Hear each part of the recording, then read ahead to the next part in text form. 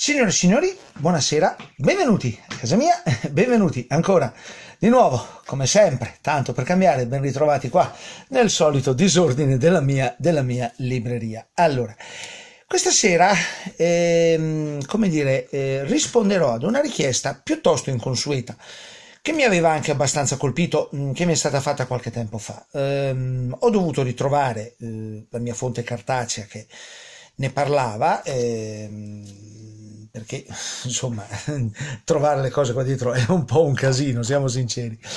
Dicevo, mi è stata fatta una richiesta piuttosto inconsueta. Perché? Perché mi era stato chiesto di parlare di un aereo italiano pressoché sconosciuto, perché costruito in pochissimi esemplari, perché entrò in servizio, diciamo, in, in quantità limitatissime, di un aereo decisamente poco noto eh, di un aereo che però eh, fece il suo piccolo ruolo nella guerra.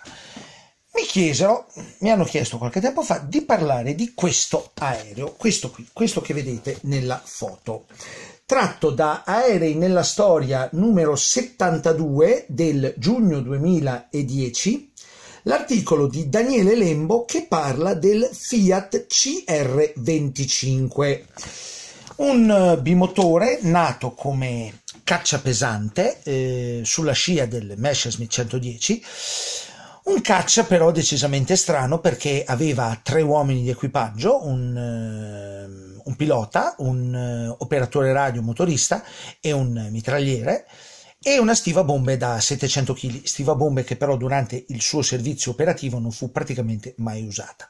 Un caccia che era armato con, uh, vabbè, due, le solite due mitragliatrici Breda Safat a prua, una mitragliatrice Breda Safat sempre da 12,7 in torretta, un aereo che, mm, come dire, avrebbe dovuto essere un cacciapesante, ma in realtà le prestazioni erano tutt'altro, le prestazioni velocistiche erano tutt'altro che esaltanti e quindi diciamo che fu utilizzato per tutt'altri scopi.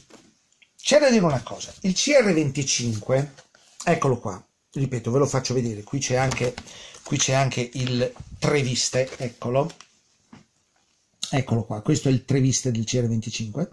Il CR25 fu un buon aereo, oggettivamente, robusto, affidabile, molto amato dai piloti per le sue buone qualità di volo, un aereo che avrebbe potuto fare di più, come dice l'articolo di Lembo, ma, ma, ma, ma, ma, come sempre siamo in Italia. Vi ricorderete che qualche tempo fa ho parlato del Valti Vengeance, ok? Un aereo praticamente di scarto costruito in più di 2000 esemplari. Oibò, a testimonianza del potenziale bellico degli americani, del potenziale industriale bellico degli americani. Ok? Il eh, CR-25, che eh, diciamo nato, ripeto, nato come cacciapesante, fu convertito al eh, ruolo di eh, ricognitore marittimo, caccia sommergibili e scorta convogli. Aveva ottime qualità di volo, ripeto, era un aereo che volava bene, un aereo affidabile, un aereo robusto, un aereo molto adatto al ruolo, ma fu un aereo costruito in un totale di 20 esemplari e non ne furono mai messi in servizio più di una decina. È, è, è la 173 squadriglia autonoma da ricognizione marittima eh, fu l'unico reparto ad avere in dotazione il CR-25 e lo ebbe in servizio dal 1941 fino al 1943 inoltrato, e mai in più di nove esemplari insieme, molti dei quali furono cannibalizzati per fornire pezzi di ricambio eh, a, agli altri, insomma, per mantenere in efficienza alcuni, alcuni aerei. Perché, insomma, siamo sinceri, il CR-25 era un aereo che gli equipaggi consideravano molto molto bene, un equipaggio molto amato dai, dai un, un aereo, scusate, molto amato dai piloti, che volava bene, che era molto adatto al ruolo di ricognizione marittima. Se vogliamo, filo, come filosofia costruttiva era più o meno equivalente all'inglese Bristol Blenheim, tanto per fare, tanto per fare un esempio. Prestazioni velocistiche non esaltanti, mh, mm, affidabilità sicuramente a prova di bomba, adattato al ruolo di ricognitore marittimo, scorta convogli e caccia sommergibili, ma, ma, ma fu una buona soluzione di compromesso perché, ripeto, fece la sua parte in guerra, ma oggettivamente i numeri erano assolutamente risibili. Il CR25 fu vittima, se vogliamo, della mentalità, della cosiddetta, di quella che io chiamo la cosiddetta dottrina Valle, ovvero sia il generale Valle, sostituto di Balbo alla guida della Regia Aeronautica, si mise in testa di ordinare di ordinare tante piccole serie di aeroplani nella speranza di azzeccare, di pescare l'asso di briscola, se vogliamo, ovvero sia di pescare tra i tanti tipi un aereo talmente superiore, dalle caratteristiche talmente superiori, talmente, eh, come dire, eh, elevate, ecco, non, non mi viene un altro titolo, che eh, come dire avrebbe dovuto poi essere costruito in massa. Ma, ma che cosa accade? accade che aerei anche validi ripeto anche validi come il CR-25 che ripeto si rivelò essere un, un buon aereo. Eccone qua altre foto altre immagini e il CR-25 si rivelò essere un buon aereo da ricognizione un buon pattugliatore marittimo un buon un buon aereo da scorta convogli, perché era quello che serviva. Un aereo robusto, un aereo di semplice manutenzione, un aereo facile da, da, da portare, da mantenere in linea, ma ahimè, ahimè, ahimè, la dottrina Valle lo ammazzò praticamente in culla perché non, eh, cioè come dire, perché non c'era la possibilità fisica di costruirlo proprio a causa dell'eccessivo numero di piccole serie di tanti prototipi che Valle si intestardiva a far costruire, nella speranza di trovare nel mucchio un aereo valido.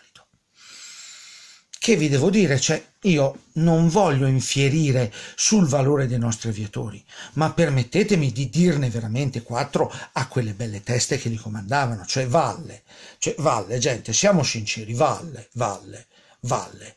Uno, uno che non, non volava, cioè aveva volato sui dirigibili, non ne sapeva niente di aerei, Valle, sinceramente e si è visto con la sua terrificante, cioè con la sua dottrina, tante serie di prototipi costruiti in piccoli numeri nella speranza di azzeccare l'aereo giusto e soprattutto di non scontentare i grandi gruppi industriali.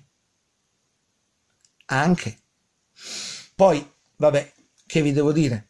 Il CR25 la sua guerra l'ha fatta una guerra nella quale ha contribuito in maniera veramente molto minore, perché oggettivamente non ebbe mai più di nove esemplari in, eh, di no, la 173esima squadriglia autonoma, l'unico reparto che lo ebbe in dotazione, non schierò mai più di nove aerei, più di nove CR-25 insieme. Che impatto poteva avere una squadriglia di nove aerei nel carnaio del conflitto. Cioè ricordiamoci che nello stesso periodo in cui noi tenevamo in servizio i 9 eh, CR-25, gli inglesi sfornavano qualche migliaio di Bristol Beaufort e qualche altro migliaio di Bristol Beaufighter che svolgevano gli stessi compiti. Il confronto oserei dire che è decisamente impietoso, tutto qua. Ripeto, l'aereo era buono, l'aereo era, era decisamente, decisamente valido, era, mh, mm, ripeto, molto ben considerato dai piloti. Era un aereo, era un cosiddetto, era sì, un, un cosiddetto pilot's plane, un aereo piacevole da far, da far volare, un aereo adatto al ruolo di ricognitore, di caccia sommergibile e di scorta convogli. Ma siamo sinceri, che cazzo volevamo fare con 9CR25? Eh, eh, penso che la mia faccia la dica tutta. Tutto qua. Quindi, cari signori, io posso solo dire che un aereo onesto, un aereo valido, come dice giustamente Daniele Lembo nell'introduzione al suo articolo, un bimotore che avrebbe potuto fare di più se solo non fosse stato ammazzato in culla dai deliri del generale Valle. Tutto qua. Quindi, cari signori, io vi ringrazio per l'attenzione e come sempre, arrivederci al mio prossimo video. Buonasera.